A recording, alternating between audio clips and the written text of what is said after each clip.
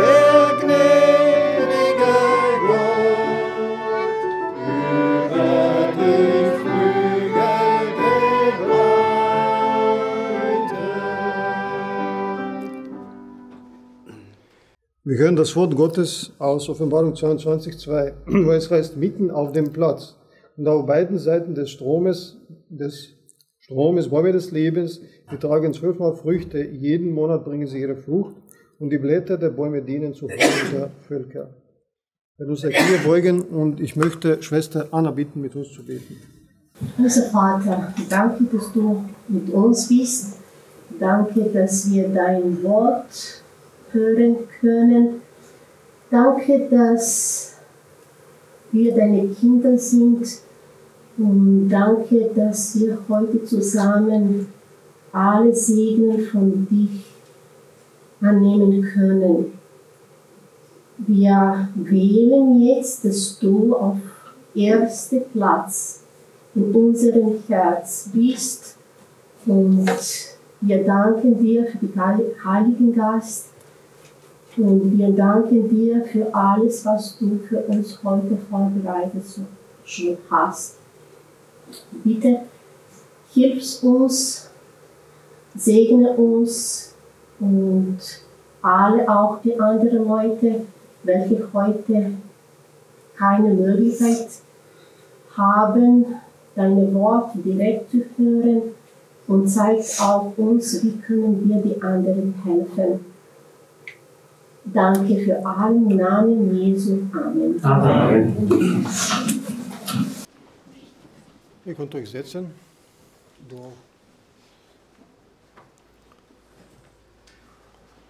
Liebe Geschwister, liebe Jugend und liebe Kinder, ich möchte dem Herrn danken, dass er uns noch eine Gelegenheit gegeben hat, uns auf dem Sabbat zu versammeln und aus seinem Wort zu lernen, ihn zu loben und zu preisen. Und bevor wir zu unserer zweiten Stunde zur Predigt übergehen, werden wir ein kurzes, Programm von den Kindern hören und auch so Musikstücke.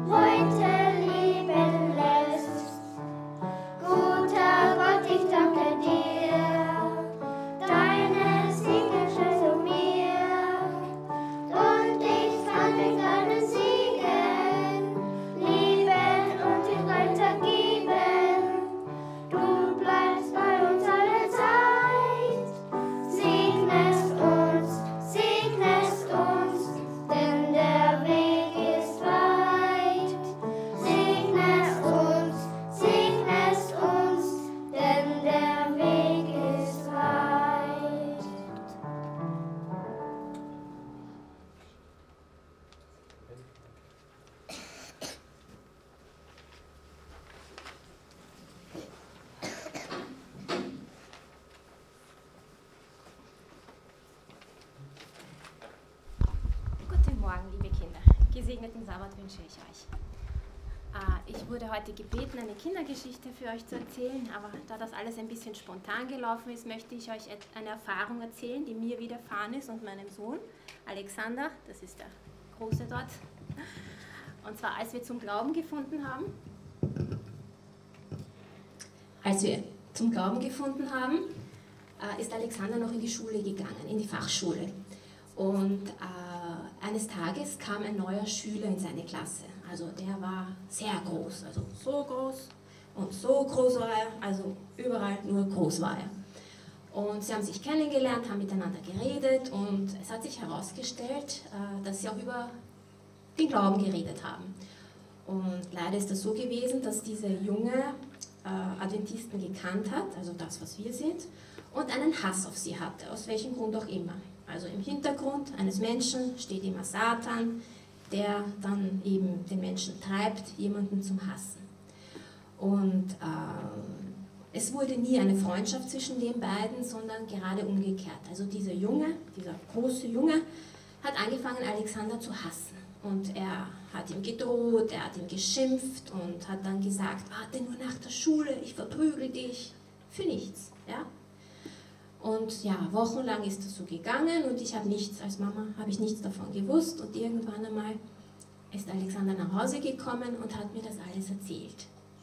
Und ihr wisst ja, wie Mamis besorgt sind. Wenn ihr hinfallt, wenn ihr euch wehtut oder wenn man euch etwas sagt, was hässlich ist, dann sind Mamis besorgt. Wir Mamis sind so, wir wollen unsere Kinder immer beschützen. Ja, und für mich war das ein Schock. Also ich wusste jetzt nicht so wirklich, wie ich damit umgehen soll. Und je mehr ich darüber nachgedacht habe, desto mehr wurde ich auch wütender. Und desto mehr wollte ich was dagegen unternehmen. Und ich wusste nicht was. Und ihr müsst euch das so, so vorstellen. Ich bin dann durch die Wohnung gegangen und habe mir gedacht, ach, was kann ich jetzt tun? Wie kann ich meinem Kind helfen? Ich gehe morgen zum Direktor. Ich gehe zum Klassenvorstand. Am besten, ich hole mir einen Anwalt und wir verklagen diesen Jungen. Ja? Und ich habe geredet, geredet, geredet. Und Alexander hat mich angeschaut und hat gesagt, Mama, warte. Und ich, auf was soll ich warten? Was? Und er sagt zu mir, was kannst du machen, was Gott nicht machen kann für mich? Und ich bin so, schaut Kinder, ich bin so gestanden. Ja, stimmt. Was kann ein Anwalt machen? Was kann ein Direktor machen, ein Klassenvorstand, was unser lieber Gott nicht machen kann? Und ich habe das in Gottes Hände gelegt. Und ich war stolz, dass mein Kind diesen Gedanken vor mir schon hatte. Also er war ruhig, obwohl er alles Mögliche in der Schule erlebt hat von diesen Jungen. Er war ruhig, ja. Und einige Wochen danach, wir haben gebetet, wir haben gefastet für Alexander. Wir haben nichts unternommen, nur gebetet und gefastet. Und dann, eines Tages, habe ich erfahren, dass dieser Junge, der hatte Prüfungen nachzuholen in der Schule, die er versäumt hat. Er hat eigentlich geglaubt, die Lehrer vergessen darauf, sie werden nicht drauf kommen. Und dann gab es eben eine Frist, die er nicht eingehalten hat und dieser Junge wurde rausgeschmissen aus der Schule. Ja? Und er war nicht in Alexanders Klasse. Und als Alexander nach Hause gekommen ist, ich habe mich halt ein bisschen gefreut, okay, er ist nicht mehr in Alexanders Nähe, da besteht jetzt keine Gefahr. Aber Alexander hat gesagt, Mama, ich habe gebetet für ihn. Ich habe gebetet, dass sie ihn doch noch zurücknehmen in die Schule. Und es ist wirklich so passiert, der Junge bekam noch eine zweite Chance, dass er diese Prüfungen noch macht. Ja, also der Herr ist wunderbar. Aber er hat diese Prüfung wieder nicht geschafft, also nicht gemacht. Er hat die zweite Chance nicht genützt und er wurde endgültig aus der Schule geschmissen. Und Kinder, warum ich euch diese Lektion erzähle, ist ganz einfach, egal was passiert, ob es im Kindergarten ist, in der Schule, Anfechtungen werden immer in eurem Leben sein. Wir haben das heute in der Sabbatschule, in der Erwachsenen-Sabbatschule gelernt. Aber vertraut auf Gott, legt ihm all, seine, all eure Probleme in seine Hände, wie bei Psalm 50, 15, und ruft Gott an und fragt ihn und betet und hofft darauf, dass er euch hilft. Er wird sicher helfen, das sage ich euch. Das kann ich euch aus Erfahrung sagen. Ja, danke, dass ihr so lieb zugehört habt. Amen. Amen.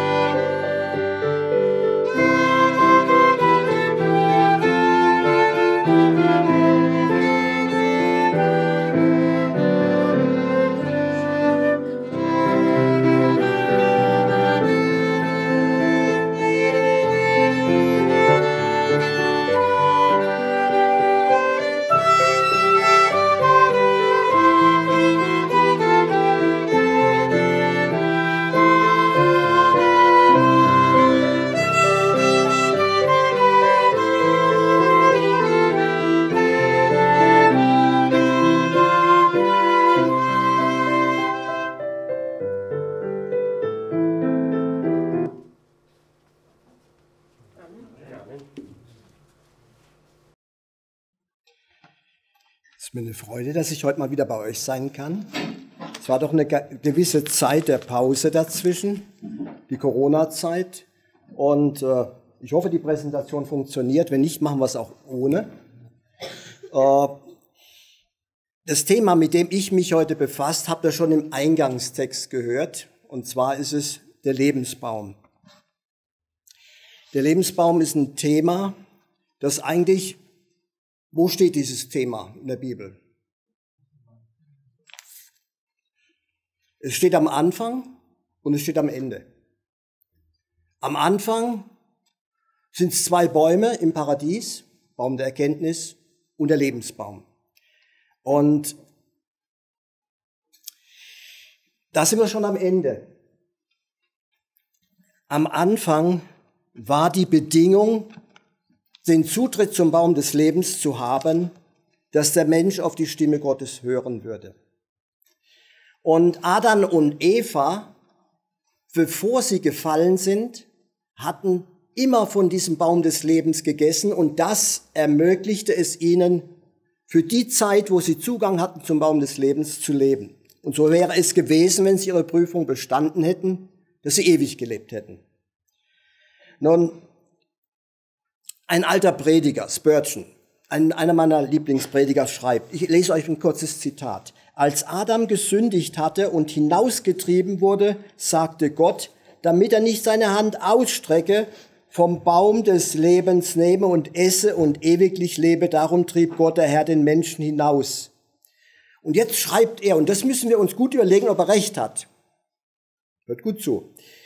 Einige haben angenommen, dass dieser Baum des Lebens im Garten Eden dazu gedacht war, den Menschen in der Unsterblichkeit zu erhalten dass sein Verzehr ihn in der Kraft unfehlbarer Jugend unterstützt, ihn vor dem Verfall bewahrt und seiner Verfassung durch eine geistige Regeneration das Siegel der Ewigkeit verliehen hätte, dann schreibt er eine Bemerkung, und da müssen wir gut nachdenken. Ich weiß nicht, ob es so war. Was denkt ihr? Was wissen die Adventisten? Wissen die Adventisten, ob es so war? Dass es notwendig war, vom Baum des Lebens zu essen? War es notwendig? Oder konnte der Mensch auch so ewig leben? Das ist eine gute Frage. Die werden wir beantworten. Äh, Hoffnung auf ewiges Leben, das ist das größere Thema. Alle Menschen, wenn sie mal in mein Alter gekommen sind, ich sehe es in manche, die haben auch schon graue Haare, die fragen sich natürlich, Woher kommt das? Wohin führt das? Dass man so alt wird, grau wird? Es ist ein Alterungsprozess und jetzt dürft ihr nicht lachen. Manche sind von euch vielleicht noch keine 25, aber die Haut altert schon ab 25 Jahre. Der Alterungsprozess ist eine Sache, die sehr, sehr früh anfängt. Und natürlich haben die Leute geforscht. Wir kommen zum nächsten Punkt. Sie haben geforscht, äh, was kann man machen, um das Altern möglichst zu stoppen oder aufzuhalten? Was kann man machen parallel dazu, um die Krankheit zum Beispiel Corona gentechnisch zu lösen? Wie kann man das machen? Also hat man versucht, auch an den Genen zu forschen, ob es möglich ist. Man hat sich ermutigt gefühlt, das zu tun, weil man hat in der, in der Tierwelt hat man Phänomene gefunden, die sehr, sehr langsam gealtert sind. Und so hat man gedacht, naja, irgendwie muss man das übertragen können auf den Menschen.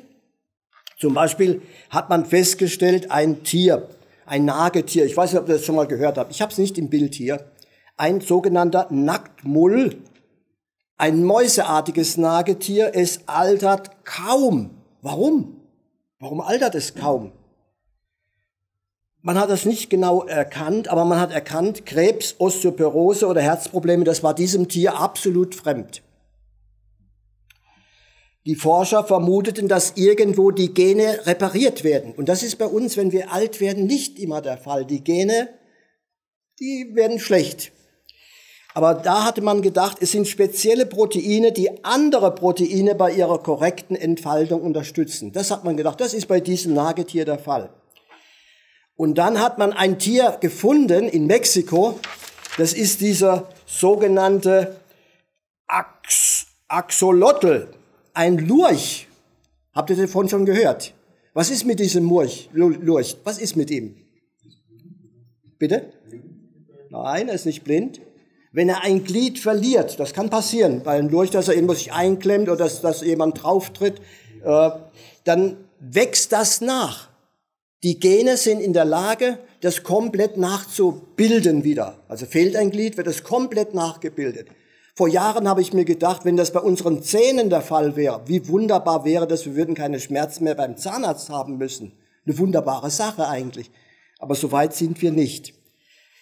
Wir altern ein Leben lang. Das ist eine Tatsache. Und etwas gegen den Prozess unternehmen zu wollen, ist, das ist dieser Lurch. Und auf den können wir wirklich manchmal neidisch sein. Manche Leute haben sich überlegt, gentechnisch wäre es vielleicht heute möglich, dass die Menschheit 150 Jahre alt würde. Man hat ausprobiert, ob Medikamente das Leben verlängern. Man hat, und das ist nicht nur in der modernen Zeit, man hat immer wieder an diesem Problem herumgedoktert, kann man mit bestimmten Elixieren das, das Leben, die Leistung verändern, kann man den Menschen stabiler machen in seiner Gesundheit. Dann haben die Forscher nachgewiesen, wenn der Mensch alt ist und seine Kalorien reduziert, was passiert dann? Das gibt uns zu denken. Man hat auch festgestellt, dass Menschen nach Hungersnöten, die das durchlebt haben, die wurden älter. Man hat festgestellt, dass die Kalorienreduktion bei Mäusen zu einem längeren Leben führt. Naja, das gibt aber Probleme. Was gibt es für ein Problem, wenn man, die, wenn man die Kalorien oder alles reduziert in der Ernährung? Dass vielleicht auch Stoffe fehlen, die dazugehören. Das hat man dann auch festgestellt. Man hat mit Hungern nicht diesen Erfolg gehabt. Und man wollte natürlich auch, und das ist vielleicht das Entscheidende heute, man möchte, dass das Alter äh, eine gewisse Lebensqualität beinhaltet. Ich weiß nicht, ob ihr schon in Altersheimen wart. Ich erinnere mich an eine Dame, die ich ab und zu besucht habe im Altersheim, die hat gesagt, mir ist so langweilig hier, ich habe nichts mehr zu tun. Das ist ein Punkt. Das Gehirn muss auch beschäftigt werden, sonst altert der Mensch. Aber bei all diesen Dingen äh, kann man auch dazu äh, Medikamente zu untersuchen, die das Altern stoppen oder verlangsamen sollten. Äh, man hat eine bestimmte Substanz gefunden, hat festgestellt, dass sie das Immunsystem hemmt, also auch nicht gerade positiv. Man hat dann festgestellt, dass dieses Medikament umstritten bleiben muss. Es hat vielleicht einen positiven Effekt, dass es gewisse Prozesse verlangsamt, aber wenn das Immunsystem geschwächt ist, dann sind wir vielen Erkrankungen ausgesetzt. Was haben wir heute für ein Problem mit Corona? Die Leute sollen geimpft werden, die über 70 sind. Ich bin jetzt gerade so an der Grenze. Und man weiß aber, dass das Immunsystem bei den alten Menschen 30 Prozent wirken die Immunisierungen nicht, wie sie auch immer geschehen. Ob das jetzt mit diesen Vektor-DNA-Impfstoffen passiert, also das funktioniert nicht, weil das Immunsystem zu schwach ist. Also liegt das Problem eigentlich am Immunsystem selber. Gut.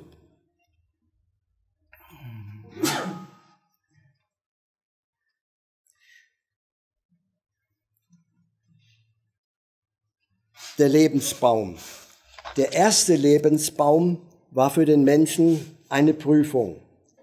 Er sollte in dieser Prüfung zeigen, inwieweit er der Stimme Gottes vertraut und auch Gott, auf Gott hört. Er hat versagt. Und was ist passiert? Das ist bekannt. Das wissen die Kinder auch. Was ist passiert? Nachdem der Mensch versagt hat, was ist passiert mit ihm? Wenn wir es nicht wissen, dann schlagen wir die Bibel auf. Die Bibel sagt es uns sehr klar, Kapitel 3, 1. Mose. Da wird es uns berichtet.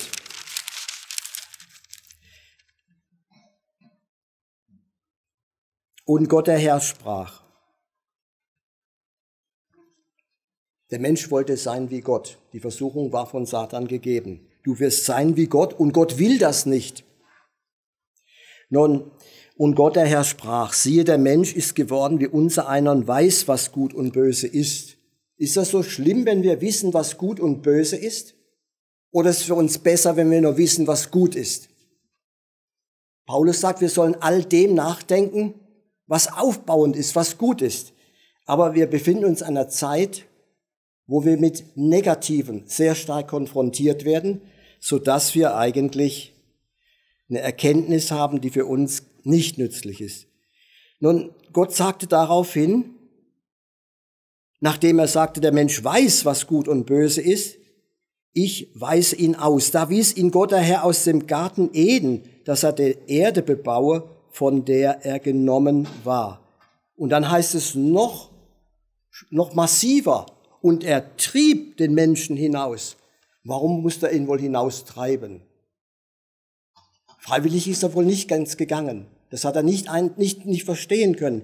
Und er trieb den Menschen hinaus und ließ lagern vor dem Garten Eden die Cherubin mit dem flammenden Schwert. Nun, das war das Problem, vor dem Adam und Eva standen, dass sie nicht mehr zurück konnten in dieses Paradies. Der Lebensbaum war versperrt und Adam und Eva konnten noch lange zu diesem Ort kommen, aber Sie hatten keinen Zugang mehr. Und das war ein Problem, von dem der Geist der Weissagung berichtet, in einem ganz kurzen Satz. Zeugnisband 6, Seite 289. Nachdem die Sünde Eingang gefunden hatte, verpflanzte der himmlische Weingärtner den Baum des Lebens. Wohin? Hat ihn verpflanzt. Habt ihr schon mal versucht, einen Baum zu verpflanzen? Ich habe mir es überlegt. Ich habe einen schönen Marillenbaum bei mir zu Hause, aber er steht an einer solch windigen Ecke, dass er Blüte bringt und dass, die, dass danach fällt die Blüte ab und bringt keine Frucht. Ich habe mir das schon oft überlegt. Aber eines habe ich mir überlegt, er ist schon so groß, ich will es nicht wagen. Aber Gott hat es gewusst, dass der Baum geht an. Der Baum des Lebens, der ist möglich zu verpflanzen. Aber jetzt was für Nutzen haben wir davon, von diesem Baum des Lebens? Der nächste Satz sagt es eigentlich. Aber die Zweige desselben hängen über die Mauern auf unsere Welt herab. Ist das nicht wunderbar? Obwohl der Baum weggenommen ist, hängen die Zweige noch in unsere Welt hinein? Habt ihr sie schon mal gesehen, diese Zweige? Können wir sie wahrnehmen oder ist das eine ein Gedanke von einer Frau, inspiriert vom Geist Gottes, das nichts mit der Realität zu tun hat. Das müssen wir uns natürlich schon fragen. Und dann kommt ein nächster Satz. Durch die mit dem Blut Christi erkaufte Erlösung können wir immer noch von seiner lebengebenden Frucht essen. Das ist eine Frage natürlich, die wir nur im Glauben beantworten können. Aber wir müssen zu einer Lösung kommen. Wenn diese, wenn diese Zweige noch in unserer Welt hinabhängen, wenn der Baum im himmlischen Paradies sich befindet, wie können wir Zugang haben zu diesem Baum? Das ist eine, eine Frage, die wir uns gut überlegen sollten. Der Geist der Weissagung sagt hier in Erfahrung und Gesichte, Seite 45, ich wurde auf Adam und Eva im Paradies aufmerksam gemacht. Sie saßen vor dem verbotenen Baum und wurden aus dem Paradies getrieben, vertrieben. Dann wurde das flammende Schwert um den Baum des Lebens gesetzt, damit sie nicht von der Frucht essen und unsterbliche Sünder sein würden. Und wir haben vorher gehört, der Mensch kann immer noch von dieser Frucht genießen, aber in einer anderen Bedeutung. Wir haben zwei Bedeutungen bei dem Lebensbaum, den Ellen G. White gebraucht. Erstens ist es der physische Gebrauch. Dieser Baum ist weg. Diese Zweige, die hier herabhängen in unserer Welt, ist ein Bild. Und über dieses Bild müssen wir nachdenken. Habt ihr das verstanden? Das eine ist der Baum, der wurde verpflanzt. Also an diese Früchte kann keiner dran, weil der ist im himmlischen Paradies. Aber die Zweige hängen herab. Das ist ein Bild, um uns zu zeigen, dass Gott uns Zugang geben will zurückzukehren zu dem Baum, von dem Offenbarung 22, Vers 2 steht, der mitten auf dem Platz steht, zwölfmal im Jahr Frucht trägt und überhaupt dessen Blätter, und das ist vielleicht die, die nächste Frage, die wir uns stellen müssen, dessen Blätter, was sollen sie bringen? Die Heilung der Heiden. Ist es nötig, wenn die erlöst sind, dass sie noch geheiligt werden oder, oder dass sie noch geheilt werden? Was denkt ihr? Das ist für uns heute notwendig, damit wir dorthin kommen, damit wir wieder zu diesem Baum kommen können. Heute ist es notwendig. Und Gott hat eine Lösung nur gewusst. Nur eine Lösung. Aber Adam musste mit dem, mit dem flammenden Schwert konfrontiert werden. Er konnte nicht mehr diese Unsterblichkeit physisch erlangen. Das war nicht möglich. Als Adam in hohem Alter starb, da hat er gesehen die Folge der Übertretung seiner, seines Lebens. Er hat es gesehen in, in Kain. Er hat es gesehen in so vielem Verfall, der passiert ist mit dem menschlichen Leben, dass er sehr traurig war.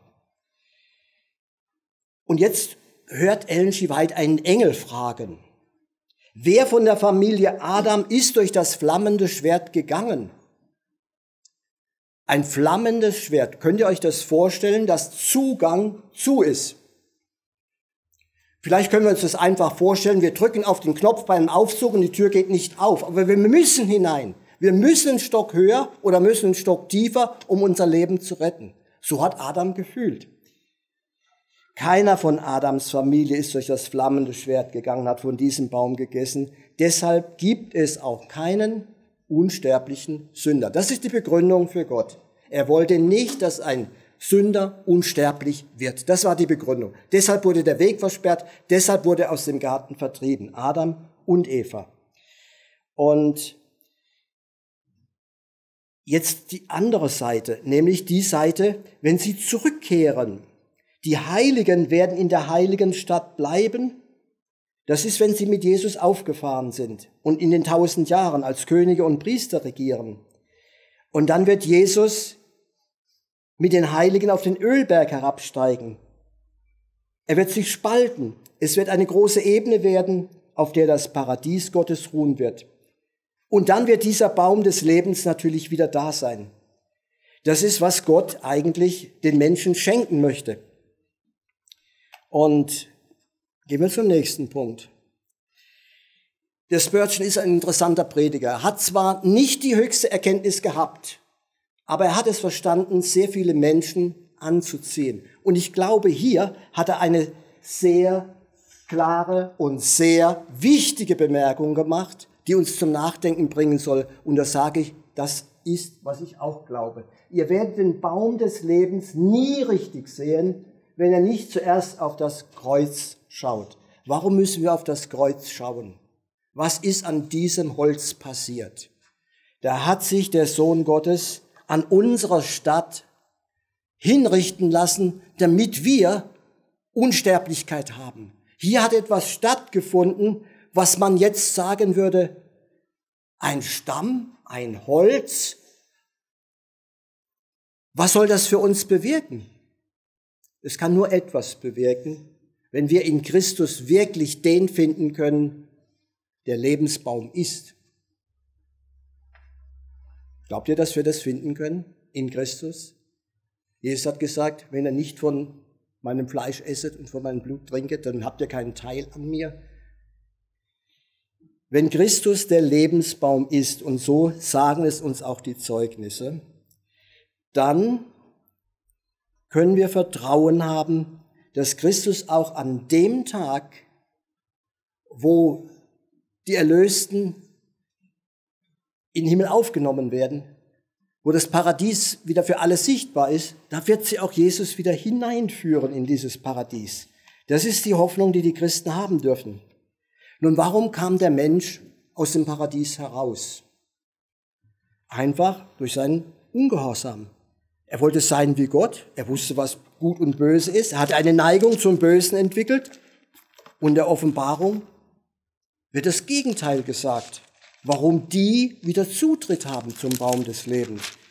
Offenbarung Kapitel 22 lesen wir in dem Vers 12.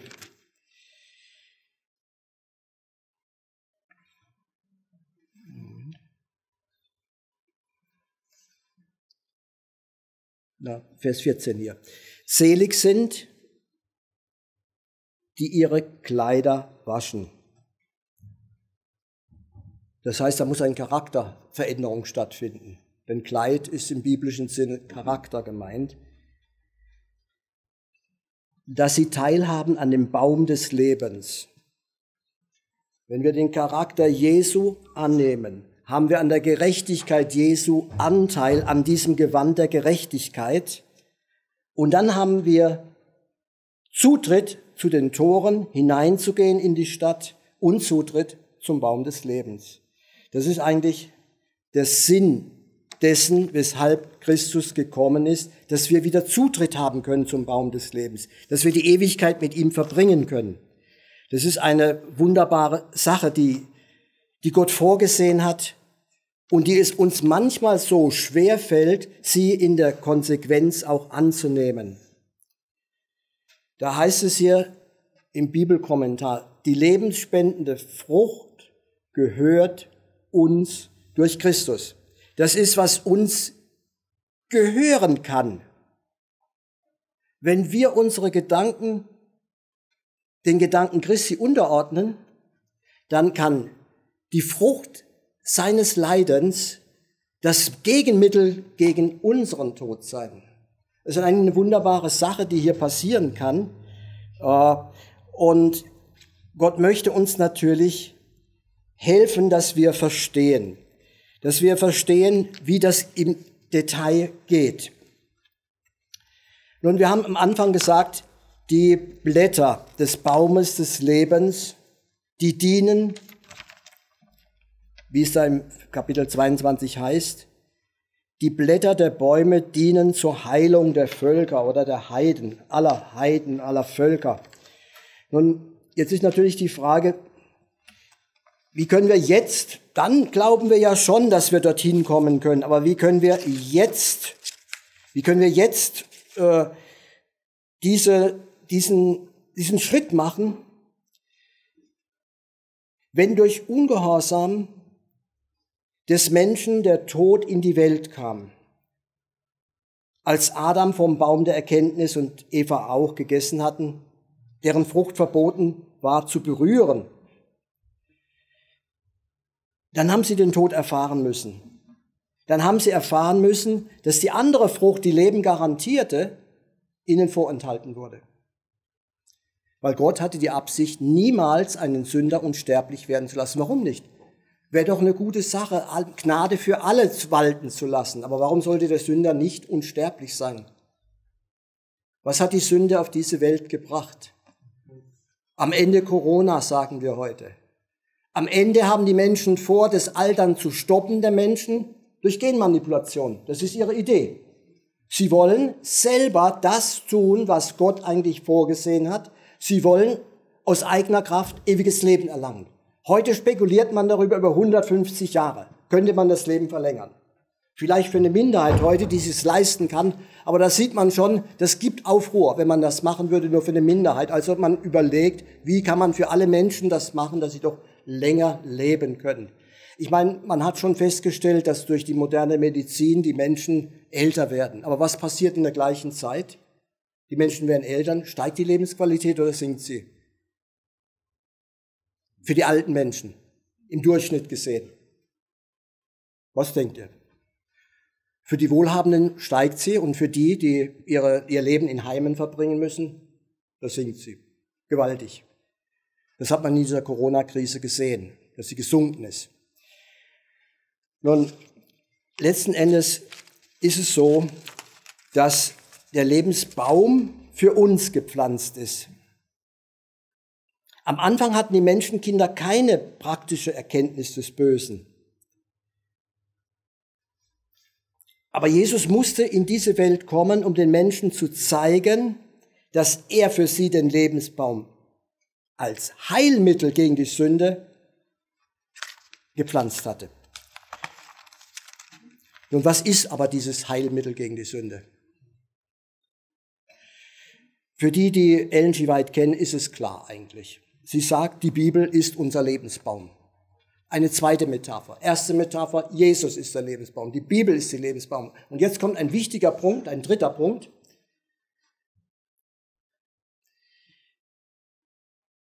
Das wir den noch beiseite. Die Verheißungen sind Blätter vom Lebensbaum wenn ihr euch in der Lage befindet, ich weiß nicht, ob es euch je in eurem Leben gegangen ist, so, dass ihr nicht euch habt weiterentwickeln können charakterlich. Das kann Menschen passieren, die in Süchten gefangen sind. Kann passieren oder nicht. Die machen nicht so einfach eine, eine, eine Entwicklung durch. Für die schreibt Schwester Weid. Und das ist unser geistliches Werk. Für die, die Verheißungen Gottes zu zeigen und immer wieder zu zeigen, das sind die Blätter des Lebensbaumes. An anderer Stelle sagt er, Christi Gleichnisse, das ist Blätter vom Lebensbaum. Wir sollten uns das merken. Die Christi Gleichnisse ist etwas, womit man Menschen konfrontieren kann. Da hat Jesus auf eine unglaublich charmante Art und Weise Wahrheiten ewigen Lebens den Menschen gebracht, sodass Heilung der Seele stattfinden kann. Und Christus, das kann man noch knapp sehen, Christus ist die Quelle unseres Lebens. Wann ist er die Quelle unseres Lebens? Ist er die Quelle meines Lebens? Wenn ich nicht die Bibel lese? Ist er die Quelle der Unsterblichkeit? Wenn ich nicht über das Wort Gottes nachdenke? Ich muss es, was heißt das eigentlich, äh, äh es essen, das Fleisch essen? Es muss ein Bestandteil meines Wesens werden. Und das sind natürlich Bilder, die vielleicht für junge Menschen nicht so einfach zu verstehen sind, für die, die sich mit den Dingen befasst haben, vielleicht leichter zu verstehen sind. Und da hat Leo Tolstoi, ein interessanter Schriftsteller, finde ich, geschrieben, die Kraft des Gedanken ist unsichtbar wie der Same. Man kann den die Kraft des Samens kann man, wann, wann kann man die wahrnehmen? Hier spricht der Gärtner, sag es. Wann kann man die Kraft des Samens wahrnehmen? Das wächst. Wenn das erste aus dem Boden herausschaut, dann kann man die Kraft des Samens wahrnehmen. Aber vorher, wenn er in der Erde liegt, die Kraft ist verborgen. Ist unsichtbar wie der Same, aus dem ein riesiger Baum wächst. Und so will Jesus auch in unsere Herzen Samen streuen. Das Wort Gottes will er streuen aus dem ein riesiger Baum ist. Sie ist aber der Ursprung für die sichtbaren Veränderungen im Leben der Menschen. Wenn der Baum des Lebens Christus an unseren Herzen wirkt, wird er sichtbar sein an Veränderungen in unserem Leben. Ich glaube ansonsten ist zu fragen, ob wir unsere Gedanken den Gedanken Christi wirklich untergeordnet haben oder unsere eigenen Gedanken leben. Wenn keine Veränderung sichtbar ist. Manchmal sind äußerlich Veränderungen sichtbar, aber im Herz toben die alten Konflikte. Und das ist vielleicht auch das, worauf man besonders achten muss.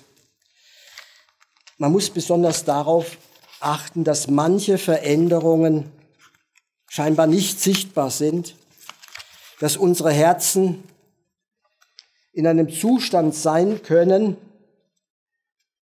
dass wir über das Wort Gottes nachdenken, aber nicht praktizieren, was wir gelernt haben. Gibt es Veränderungen in unserem Leben? Wir wissen die Bibel, aber wir ändern in unserem Leben nichts. Gibt es eine Veränderung unseres Menschen, von uns? Gibt es eine Veränderung? Wir wissen die Wahrheit, aber wir leben sie nicht. Ich glaube, das ist das, was am, am schlimmsten ist am Ende dass wir in einen Zustand kommen können, dass wir der Wahrheit verstandesmäßig zustimmen, aber das Herz bleibt da hinten. Das Herz bleibt da hinten. Maßgebend ist bei allem Tun, das sind frühe Schriften, Band 2, 188, maßgebend ist bei allem Tun, ob es von der Liebe zu Gott und zu den Menschen getragen wird. Nur wer Gottes Gebote ernst nimmt, kann wirklich in seinem Dienst tätig sein. Die Frucht, die am Baum unseres Christseins, denn wir können auch, eigentlich sollte der Christ auch ein Lebensbaum für andere sein. Die Frucht, die am Baum unseres Christseins wachsen soll, heißt,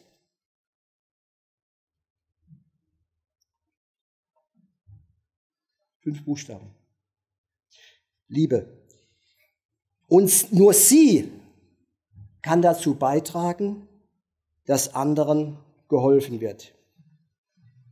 Das ist, das sollten wir unser missionarisches Verständnis äh, stärken an solchen Punkten.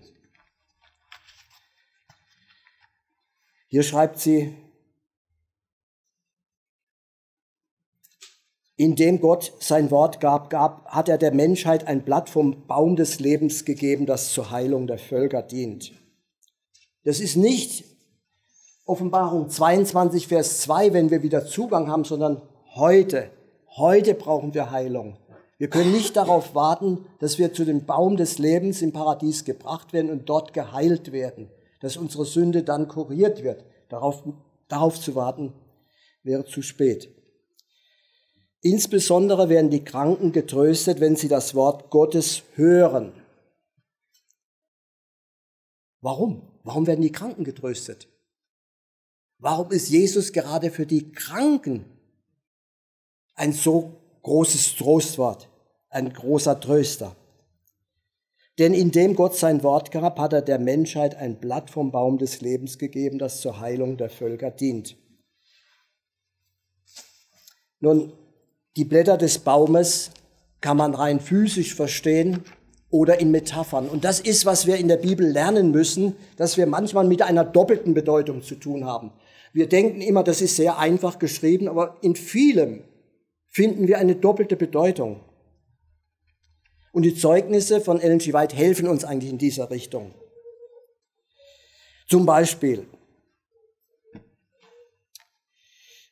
Das Essen und Trinken, also wir müssen ja auch diese Blätter essen. Das ist wieder so ein physischer Begriff. Die Blätter essen. Ist mein eigentlich in der Bibel lesen, darüber nachdenken. Äh,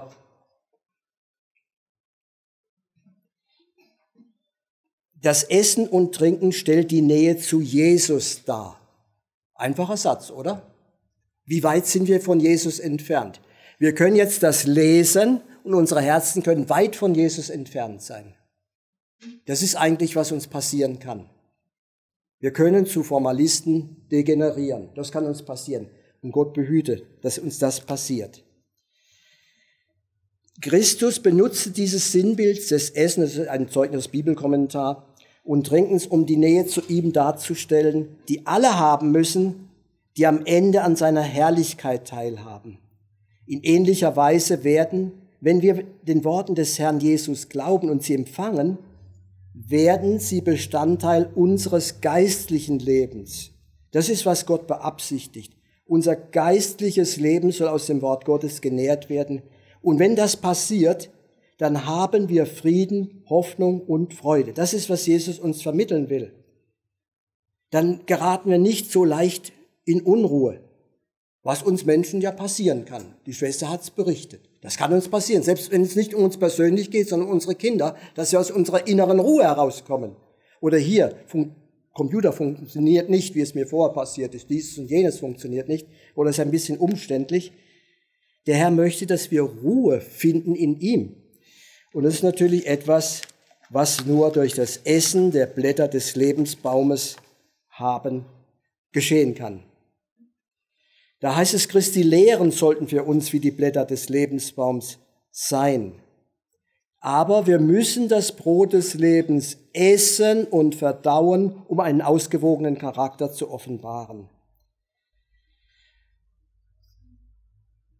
Durch unsere Einheit, dadurch, dass wir andere höher einschätzen als uns selbst, geben wir der Welt ein lebendiges Zeugnis von der Macht der Wahrheit. Fällt es uns immer einfach, andere höher zu schätzen als uns selbst? Können wir für jemanden beten, der an uns verkehrt gehandelt hat? Dann schätzen wir ihn höher als uns selbst. Das ist ein, ich glaube, das ist ein Beweis dafür. Wenn Menschen sich ganz Gott übergeben, dann essen sie das Brot des Lebens und das Wasser der Erlösung, trinken sie, dann werden sie in Christus aufwachsen. Der Charakter besteht aus dem, was der Geist isst und trinkt. Aber interessant ist eigentlich, dass wir einen Körper brauchen, um einen Charakter zu entwickeln. An unseren, an unseren körperlichen Reaktionen können wir selber wahrnehmen, in welche Richtung sich unser Charakter entwickelt, inwieweit wir Geduld gelernt haben, inwieweit wir mit dem Altern zu Streich kommen oder uns dagegen wehren. Die Wissenschaft bietet uns Möglichkeiten an, uns gegen das Altern zu stemmen. Für die Frauen sind es Färbemittel. Für die Männer sind es andere Mittel. Die Wissenschaft bietet vieles an, um scheinbar den Menschen ewiger Jugend zu erhalten. Du hast das Richtige gedacht. Äh, aber letzten Endes führt es zur Zerstörung des Menschen. Bei den Färbemitteln ist bekannt, Krebs erregend. Bei den anderen Mitteln für die Männer ist es gefährlich, Herzprobleme, an Herzproblemen zu erliegen. Weil die Menschen, wenn sie älter werden, haben sie Probleme in ihren Gefäßen. Sie sind so jung, wie ihre Gefäße jung sind und so alt wie ihre Gefäße. Ein 30-Jähriger kann zwar dem physischen Alter her nicht mit einem 60-Jährigen verglichen werden, aber er kann im chronologischen Alter so alt sein wie ein 60-Jähriger, wenn seine Gefäße zu sind, wenn er sich falsch ernährt hat, wenn er viele Verkehrtheiten getan hat. Das ist leider so, obwohl Gott Geduld hat und viele Ernährungsfehler sich über Jahrzehnte lang hinziehen. Nun, wir wissen viel. Wir haben viele Erkenntnisse. Ein, ein, ein äh, Mittel für den Menschen, um ihm das Alter in einer gewissen Lebensqualität zu erhalten, ist eigentlich die Gesundheitsreform gewesen. Und sollte von uns genützt werden, bevor wir alt werden. Weil dann ist es meistens nicht mehr so rückgängig zu machen, was an Fehlern passiert ist. Aber auch da gibt es gewisse Möglichkeiten. Man hat festgestellt, zum Beispiel, was ist ein größtes Problem beim Altern? Was denkt ihr? Was ist das größte Problem beim Altern? Wenn das nicht mehr funktioniert, wenn wir dementielle Prozesse haben, dass das Gehirn nicht mehr richtig arbeitet, das ist schlimmer für einen alten Menschen, als diese körperliche Gebrechlichkeit zu ertragen. Das ist schwieriger. Warum? Weil er orientierungslos ist. Er ist eigentlich nicht mehr als Persönlichkeit fassbar. Möchte der Herr helfen, dass wir sowohl die Blätter des Baumes des Lebens als ein, als ein Aufruf zur Gesundheitsreform betrachten, als einen Aufruf betrachten, äh, zu dem himmlischen Lehrer zu gehen, der uns eigentlich über unsere Psyche, über unseren Charakter lehren will, der auch im Alterungsprozess eine Rolle spielt. Was passiert im besten Sinne, wenn ein Mensch altert? Wird der Charakter geringer oder größer? Was denkt ihr? Es sollte eigentlich der Prozess passieren, dass er zur Vollkommenheit hinschreitet. Das sollte eigentlich passieren. Und das wäre eigentlich mein Wunsch, dass schon die Jungen entscheiden, die Kinder entscheiden, ich möchte dem Charakter Jesu ähnlich werden. Ich möchte all das tun, nicht wegen der gesundheitlichen Folgen. Das ist eine Sache. Man macht im Leben manche Fehler. Aber hauptsächlich um den Charakter zu entwickeln. Warum sitzen wir hier? Wir möchten mit Jesus die Ewigkeit verbringen. Das ist eine Charakterfrage. Zwar spielen gesundheitliche Probleme unter Umständen im Verständnis der Wahrheit eine Rolle, aber letzten Endes möchte der Herr helfen, dass wir dieses Ziel erlangen an dem Tag, wenn er kommt und die Seinen zu dem Lebensbaum führt, die zwölfmal Früchte tragen. Jeden Monat bringen sie ihre Frucht, dass wir dann bei denen sind, die Jesus hinführt zu dem Baum des Lebens. Und wir werden es auch dann sein, wenn wir heute unsere Krone unseres eigenen Ichs ihm zu Füßen legen. Dann wird es so sein. Oder denkt ihr anders? Es wird nicht anders sein. Und ich glaube, das macht es wert eigentlich, eine biblische Altersforschung zu betreiben. Die weltliche Altersforschung geht von dem Körper aus. Die biblische Altersforschung geht davon aus, da ist mehr als 150 Jahre drin. Da ist ewiges Leben geboten. Aber das ist eine Charakterfrage. Möchte der helfen, dass wir erkennen, dass Gott in der Natur solche Beispiele gegeben hat, wie den Lurch in Mexiko, wo alles wieder regeneriert werden kann. Wenn ihm ein Glied fehlt, die Natur, die DNA ist so konstruiert, dass es reparieren kann. Das hat Gott auch vor mit den Seinen. Er will sie wieder zu einem Ganzen, ich werde keine Hörgeräte mehr tragen. Ich werde keine Brille mehr tragen. Das ist eine Hoffnung. All diese menschlichen Schwächen, mit denen wir es heute zu tun haben, will Gott eigentlich verschwinden lassen. Wir sollten uns überlegen, ob wir den Charakter Jesu haben wollen. Dann macht es Sinn, heute zum Lebensbaum zu gehen. Und das wäre mein Wunsch und Gebet für einen jeden von uns. Amen. Wir danken Bruder Blessinger und wir werden unsere Stunde schließen und suchen dazu ein Lied. Das Lied 440 singen wir, Komm zu dem Heiland. Nummer 440. Wir singen alle drei Strophen.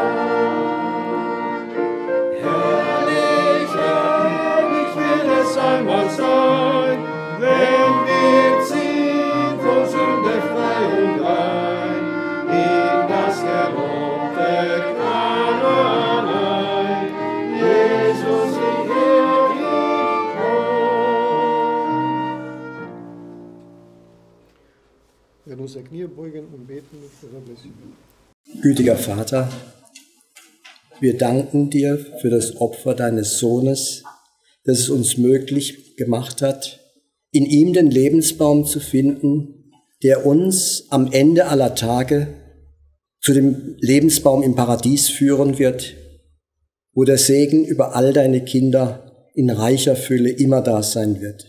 Ewige Freude hast du verheißen deinen Kindern, kein Leid mehr, kein Tod mehr. All das hast du durch Jesus möglich gemacht, dass wir es überwinden können. Du möchtest Gnade schenken, dass wir in Jesus auch unser Heil suchen und finden möchten, dass wir wirklich von den Blättern des Baumes des Lebens, dessen Zweige herabhängen in unserer Welt, Zugriff erlangen möchten. Durch Glauben ist es möglich, lieber Heiland, stärke uns darin. Dies ist mein Wunsch und Gebet, ein jeden, die Kleinen, die Jugend, die Großen, aber auch die Älter gewordenen. Möchtest einen jeden segnen, dass er seinen Weg an deiner Seite finden kann und gehen kann bis zur himmlischen Heimat. Amen. Amen. Amen. Wir singen die 9.